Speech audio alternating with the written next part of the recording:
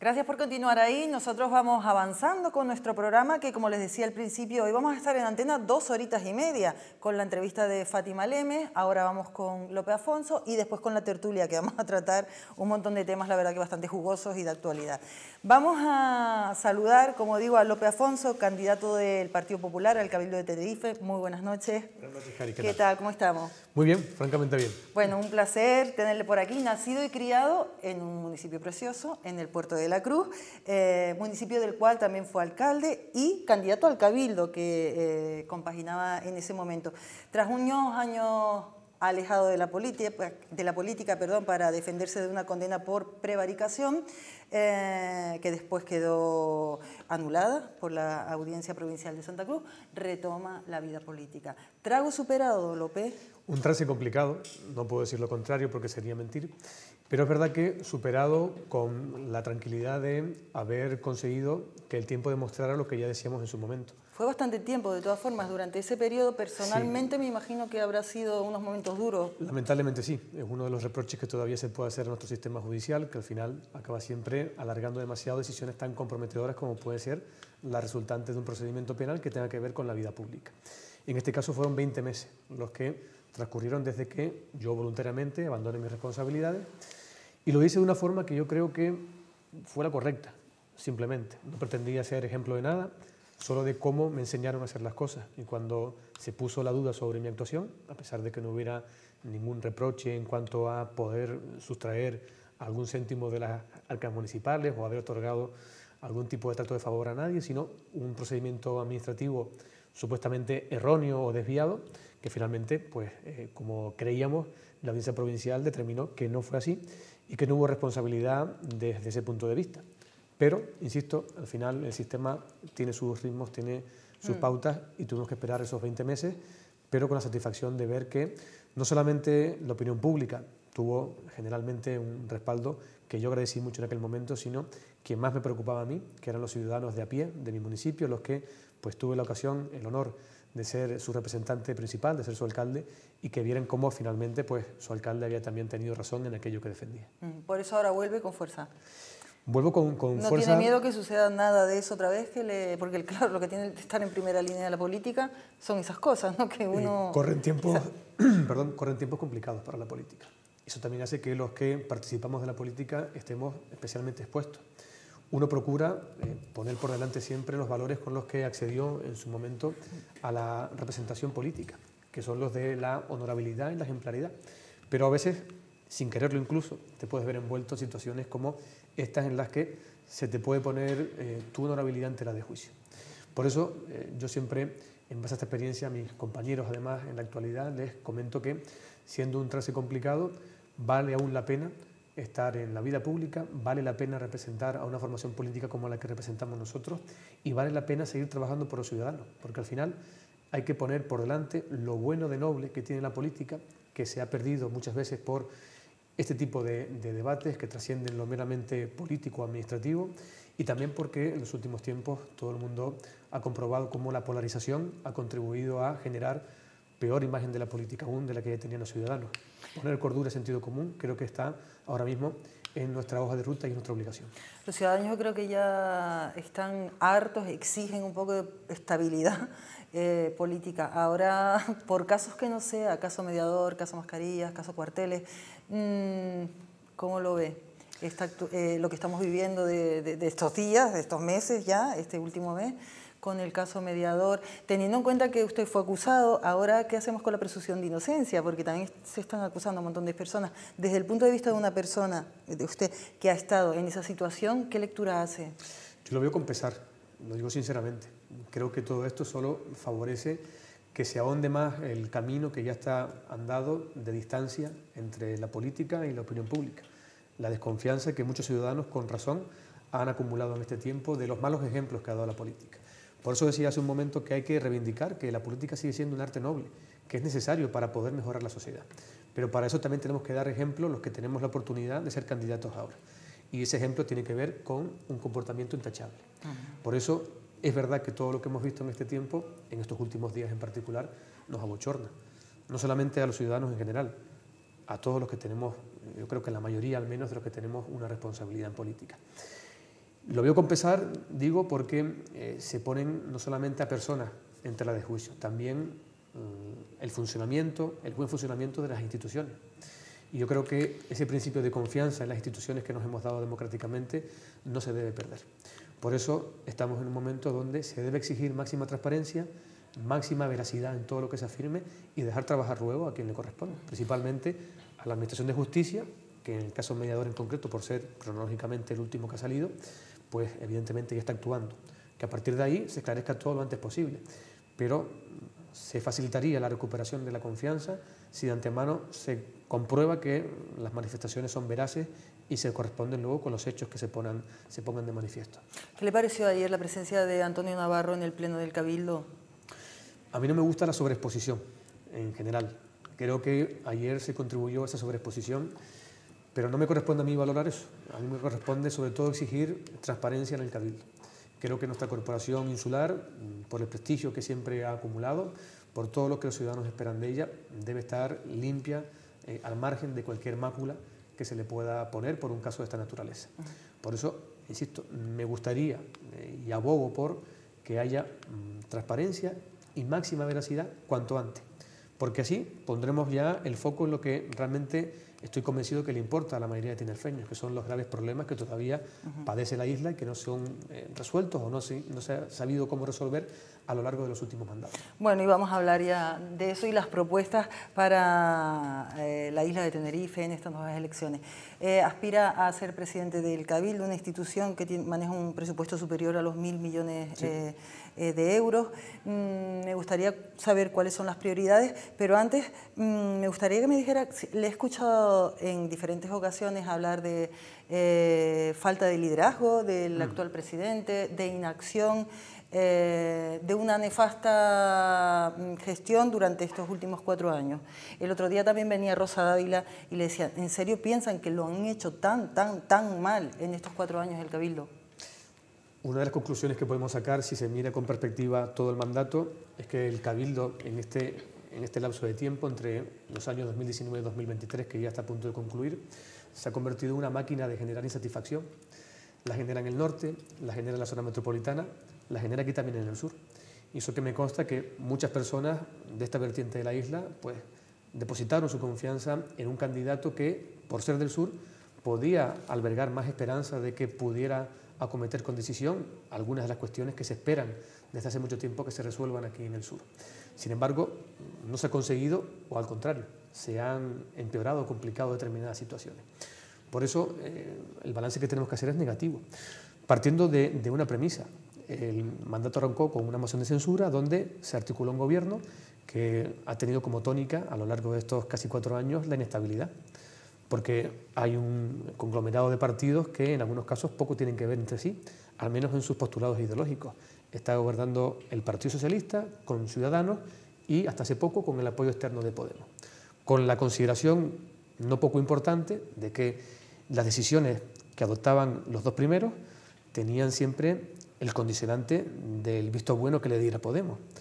Fruto de ese condicionante se dejaron de abordar temas cruciales no solamente para el sur, para el conjunto de la isla, y no solamente para este mandato, también para el futuro.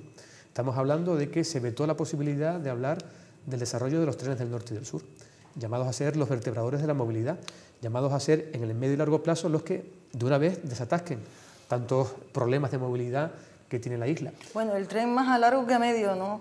Más, más a largo que a medio, pero cuando hablamos del medio es a las gestiones previas que hay que hacer. Somos conscientes de que es un tema muy complejo de gestionar. Yo me imagino que, bueno, imagino yo esa ciencia cierta, que si 50 entrevistas concede, en las 50 entrevistas le van a preguntar de, acerca del problema que venimos sufriendo desde hace 580 años ya con, la, con las colas de la autopista del norte. Mm, carril busbao, eh, descentralización de los servicios, que, ¿cómo se va a solucionar eso? Pero ya, eh, y ya no puede ser, porque el tren sería a largo plazo. Eh, eso ya mm, no nos vamos a cansar de preguntarlo constantemente, porque los ciudadanos, bueno, me imagino usted que es del Puerto de la Cruz, lo habrá sufrido permanentemente también. A diario lo sigo padeciendo. A diario lo sigue padeciendo. Eso mina la, la, salud mental de cualquier persona, eh, genera un montón de, de, inconvenientes, la gente no puede llegar pronto a trabajar o no puede ser puntual o lo que sea. Eso no tiene otra solución. En tantos años, gobierne quien gobierne, no han podido solucionarlo de alguna manera, pues no sé, eh, cuando en el verano no hay cola, cuando no hay universidad eso es un, indicativo de que a lo mejor por ahí podría haber una solución. Eh, ¿Qué piensan hacer a este respecto? Porque es uno de los atajos ya del ciudadano que, claro, son muchísimos años. Estoy completamente de acuerdo, completamente solidarizado con todos los usuarios de nuestras carreteras que nos padecen. Esto porque me toca vivirlo en primera persona, como a muchos tantos aquí en esta parte sur de la isla. Eh, lo primero es decirle a la gente que es un problema difícil de solucionar.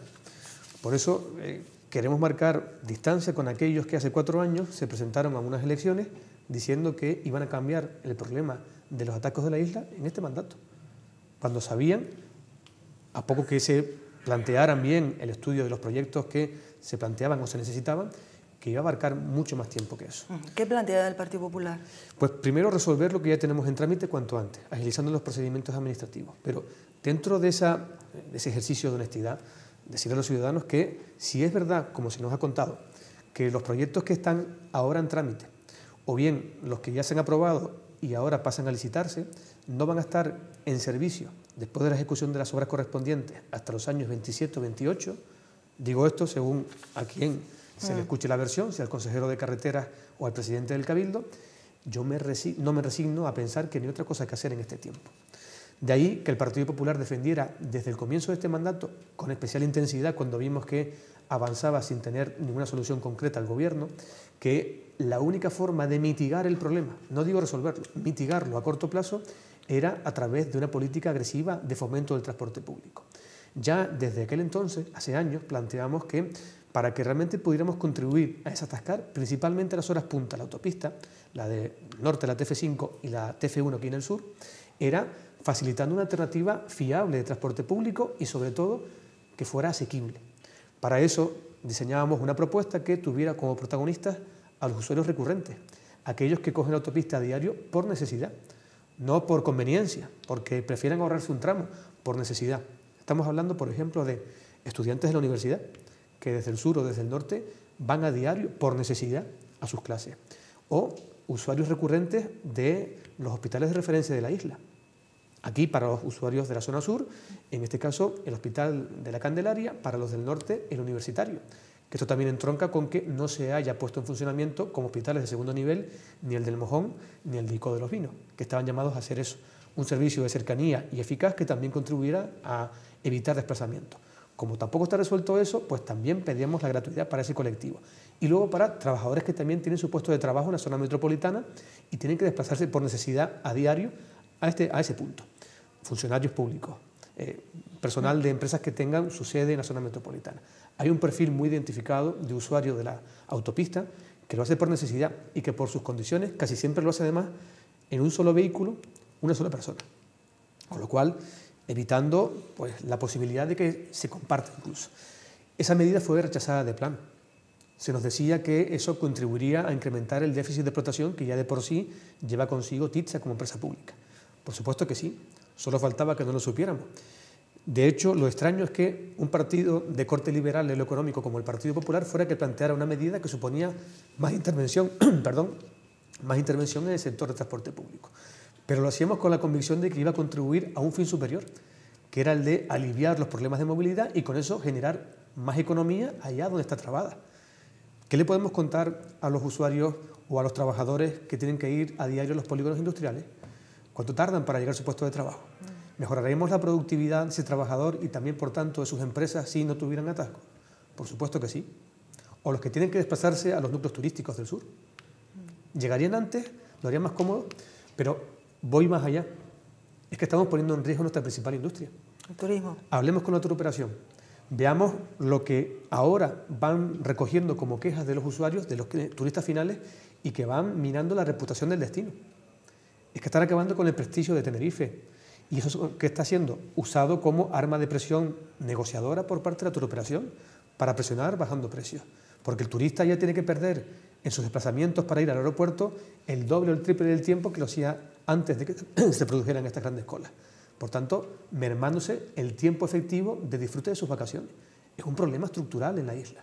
Por tanto, ¿soluciones como la del fomento del transporte público agresivo? Sí, hubiera contribuido a que a día de hoy no tendríamos que estar improvisando medidas como se improvisaron cuando con ocasión de los presupuestos generales del Estado se aprobó de rondón la gratuidad generalizada del transporte. Sin discriminar, sin tiempo para preparar la flota de vehículos para incrementarla y dar satisfacción a la nueva demanda, sin tener tiempo para formar y contratar a los nuevos conductores que tienen que estar al frente de los nuevos servicios, en definitiva, tensionando ahora mucho más las rutas, perdiendo calidad en el servicio y al final la medida que tiene que incentivarlo por la gratuidad se va a perder el efecto por lo incómodo e ineficaz que va a ser al final el traslado en transporte público.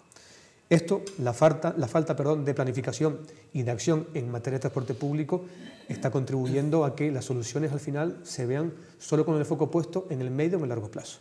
Y de ahí que, como hay que hablar con perspectiva y para no correr el mismo riesgo que estamos pasando ahora, es decir, para no tener que esperar a que se acaben las obras de ampliación de la autopista en el sur y en el norte, para empezar a hablar de los trenes, pedimos y defendimos que empecemos ya desde ahora a gestionarlo. No esperar a que nos pille el toro de nuevo. Pensemos que la isla tiene que planificarse para que no pase el embotellamiento general que tenemos ahora a 30 años vista. Porque además, si somos objetivos y tomamos datos que sean empíricos, Tenerife sigue siendo la única isla, la única que aporta crecimiento demográfico a Canarias, la única que crece. Eso va a suponer más población a la que dar servicios, a la que dar facilidades de movilidad. Pero si ya hemos visto a raíz de esta pandemia que la única actividad que nos sostiene es el turismo, ratificación por si alguien tenía alguna duda, lo cierto también es que para que mantenga el mínimo de rentabilidad que necesita Tenerife, tiene que haber de media entre 6 y 7 millones de visitantes por año. Es decir, vamos a convivir en el futuro, inmediato y a medio plazo, con más personas residentes, con los mismos turistas como mínimo y por tanto con más coches en la carretera o planificamos ya nuestro sistema viario para que haya buenas vías, buen transporte público en guagua y también trenes, o acabaremos de nuevo con la frustración de ver colapsado Tenerife en los próximos 10 años. Pues ya llevamos más de la autopista. ¿Qué panorama, de, hace 30 años, ¿no? Está la autopista... Planificada para los usuarios y los problemas de 30 años atrás, sin nuevas ampliaciones significativas. Y por eso también hemos pedido recientemente, Cari, y se ha aprobado con la sorpresa del voto negativo del Partido Socialista, con apoyo de otros grupos, que se cierre de forma efectiva el anillo insular. Porque estamos celebrando, y yo me alegro mucho también, de que el próximo año se pueda poner en servicio el tramo entre Santiago del Teide y el tanque. Bien, también se celebraba que por fin en 2023, hace apenas una semana, se aprobara la declaración de impacto ambiental del siguiente tramo, hasta Ico de los Vinos. Lo que pasa con lo siguiente, la autopista termina a día de hoy en Los Ralejos. Si no se trabaja desde ahora en el proyecto entre Los Ralejos y San Juan de la Rambla, correremos la frustración igualmente de que el problema solo se desplazará de sitio, unos kilómetros antes. Habla de que Tenerife tiene que tener un equilibrio eh, económico y social con el anillo insular, de en cierta manera se, se podría eh, favorecer ese equilibrio es fundamental para mí porque el anillo insular representaría agilidad en la movilidad. Mm, Facilidades para que la población también pueda tener asentamiento en aquellos sitios donde no necesariamente esté su puesto de trabajo al lado. Es decir, muchos desplazamientos se realizan a día de hoy por necesidad laboral. Si conseguimos que haya una circulación normal, ya no digo óptima, normal, será mucho más sencillo que también lleguen oportunidades para aquellos territorios que no tienen densidad de población suficiente o que la pierden, como puede ser la Isla Baja. El recorrido de la insular puede favorecer que haya nuevos nodos de comunicación, que el suelo que está en la periferia, esos nuevos tramos de vía, cobre valor para uso residencial, para poner en el mercado la vivienda que desde hoy falta y que también tensiona los precios. Otro problema histórico que tenemos en la isla y que evidentemente necesita de soluciones. El equilibrio tiene que ver también con la generación de actividad económica va a ser mucho más fácil que haya actividad económica en el norte, si hay facilidad para que los turistas del sur también puedan disfrutar de los aspectos positivos que tiene el paisaje, la gastronomía y todos los servicios que se dan en el norte, y viceversa. Es hacer que la isla final funcione, que pueda, como río sanguíneo del cuerpo, circular todo el mundo por la isla. Bueno, y hablando de río sanguíneo y de salud en materia sociosanitaria, ¿qué propone el Partido Popular? Pues acabar con el bloqueo también que tiene el gobierno actual. Es verdad que es un problema que viene enquistado también de pasado mandato.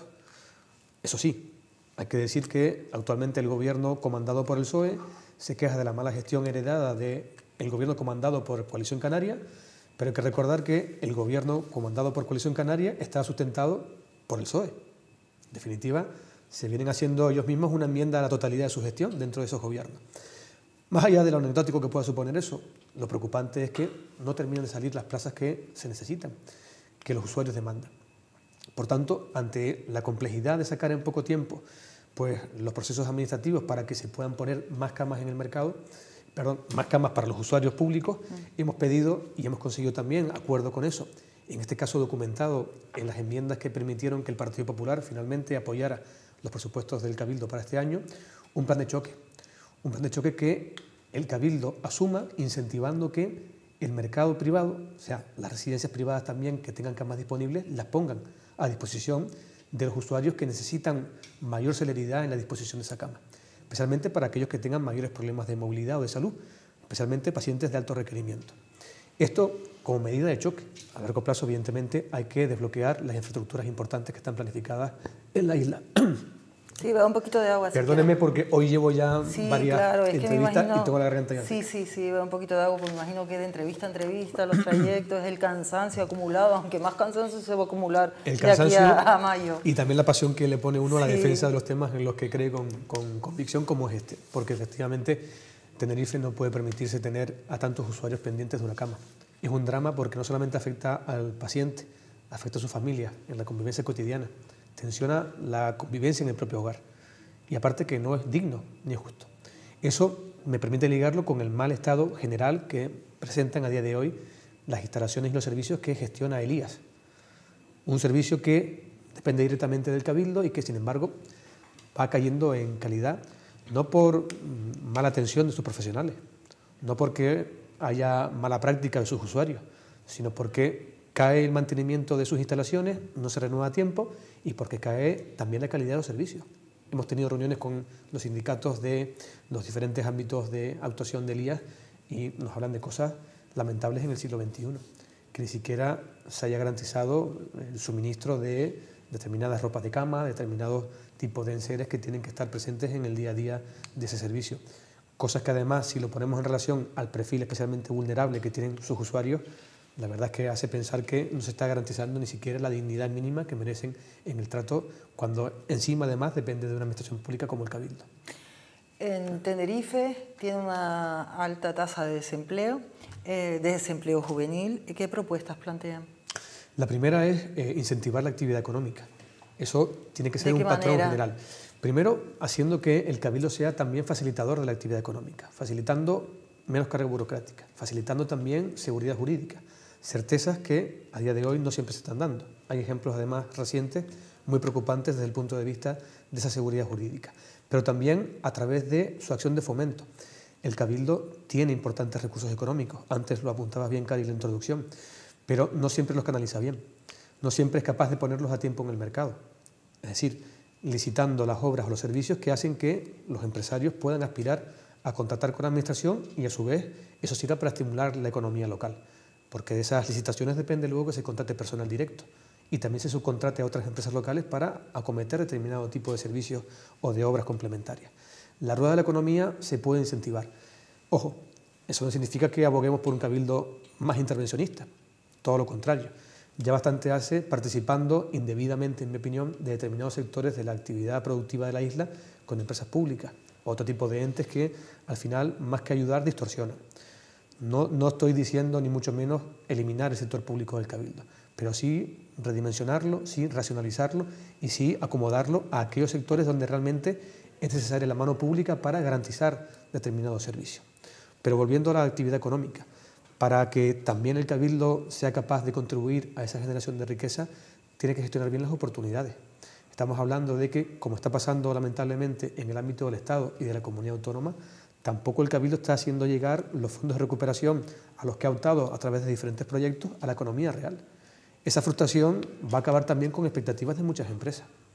En el sector industrial, en el sector de la construcción, también en el sector servicios. Pero es que vamos a otro ámbito también muy castigado, el sector primario, que especialmente ha padecido las consecuencias de la pandemia primero y luego de la crisis energética, del incremento generalizado de precios, donde ni siquiera han podido llegar a tiempo por costes o por dificultades logísticas a comprar piensos y forrajes. Han tenido que sacrificar animales. Y la respuesta del Cabildo ha llegado, pero tarde, cuando muchos ya han cerrado sus explotaciones. Ahí es donde hay que estar de la mano del sector para llegar a tiempo, para evitar la pérdida de empleabilidad, para evitar la pérdida de riqueza de la isla. Que al final, si incentivamos a tiempo, gastamos menos a través de la actividad de rescate, a través de la subvención. Si somos capaces de incentivar a tiempo la economía de la isla, Tenerife va a ser la isla más competitiva del archipiélago, como lo fue y como lamentablemente en algunos ámbitos a día de hoy no ha conseguido ser.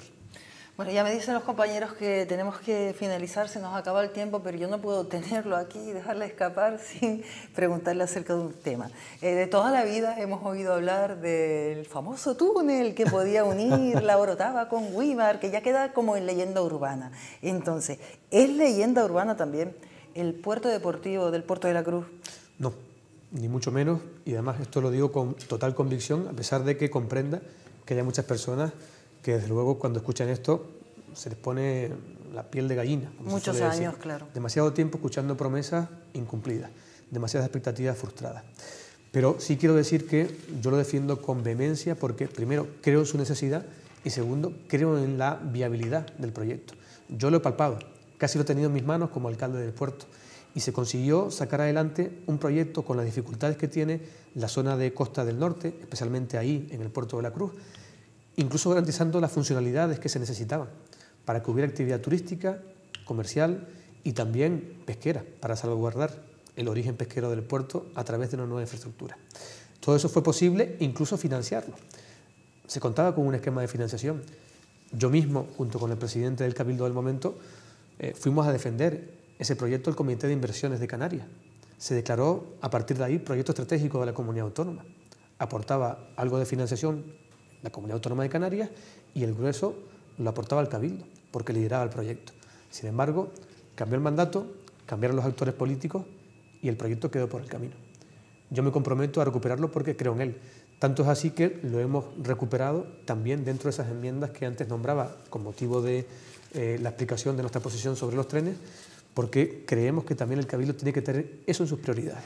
Puertos deportivos, los necesarios, no vamos a llenar la isla de puertos por llenarla, pero sí donde hace falta para estimular la actividad económica, especialmente en zonas que a lo largo del tiempo se fueron deprimiendo turísticamente, como el puerto de la Cruz, pero que todavía pueden dar mucho más de sí para la actividad turística y económica del puerto, pero también para irradiar desde ahí impulso económico a toda la comarca.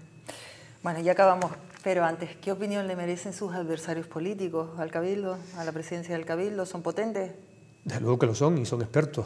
Eh, no, no, compito frente a cualquiera. Soy consciente de eso y por encima de otra consideración les tengo respeto. Les tengo respeto. Evidentemente les quiero ganar. Y les quiero ganar porque además represento un proyecto político que aspira a ganar donde quiera que sale a participar o a jugar. Pero a diferencia de otros que acaban anteponiendo eslóganes, yo quiero hacerlo con argumentos sólidos. Lo quiero hacer además reivindicando que somos la única formación política de corte de gobierno que no ha tenido oportunidad hasta ahora de encabezar la gestión en el Cabildo. Yo creo que estamos en disposición de ser el partido que saque a Tenerife del atasco, pero lo intento hacer con propuestas y explicaciones de cómo lo queremos hacer viable. Quiero ganar y quiero vencer, pero también quiero convencer. Muchas gracias, López. Que vaya todo muy bien. Un placer. Muchas gracias a usted. Un placer. Hacemos una pausa, hablemos enseguida.